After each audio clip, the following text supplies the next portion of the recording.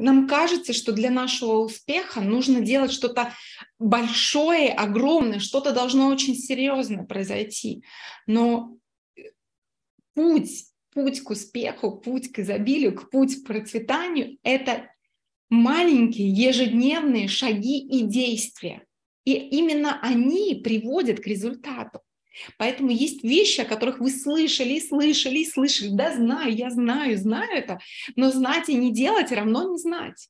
Поэтому прям вот очень надеюсь, что что-то вы вынесете полезное из этих уроков и возьмете себе сегодня в использование. Итак, очень похоже на препятствия и возможности, немножко под другим углом, богатые выше своих проблем, а бедные преувеличивают свои проблемы. И мне здесь очень понравилось у Харва, как оно было приведено. Э, пример.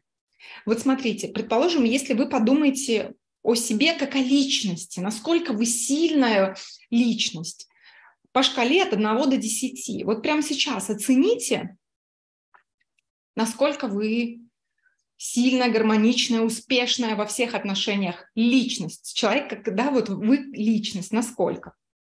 И теперь подумайте, вот на, я вам скажу сейчас, представьте, что проблема, которая, которая, которая на вашем пути встала, да, проблема, препятствие,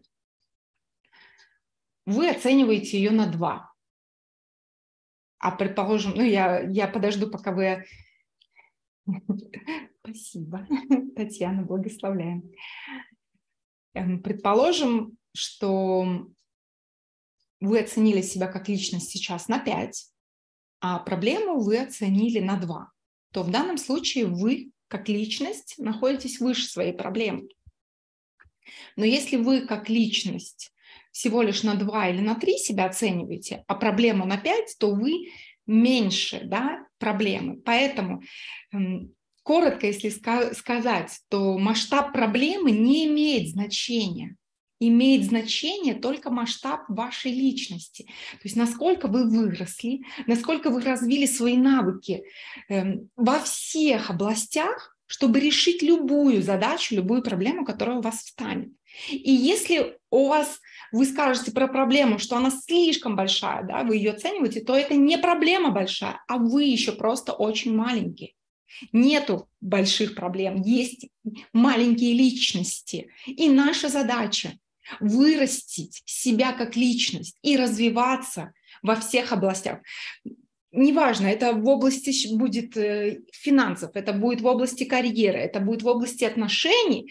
Если встала какая-то проблема, то нужно в первую очередь не преувеличивать эту проблему, не убегать от нее, потому что никуда она не денется, а сместить фокус на то, как вы ее можете решить, развивая себя как человека, как личность да?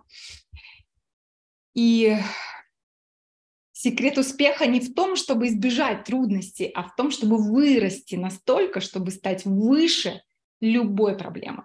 Потому что думать о том, что у богатых людей нет проблем, не, ну, это неверно. У нас у всех будут, просто будет и масштаб отличаться, но из-за того, что мы сами растем как личность, мы сможем преодолевать любые препятствия. Да? Масштаб проблемы не имеет значения, значение имеет только масштаб личности. Поэтому если сейчас в вашей жизни есть какая-то непреодолимая проблема, то просто знайте, что вам нужно развиться, вырасти и стать выше этой проблемы. Просто скажите себе сейчас, я маленький, проблема большая. И я сделаю все сейчас, чтобы вырасти и стать больше этой проблемы.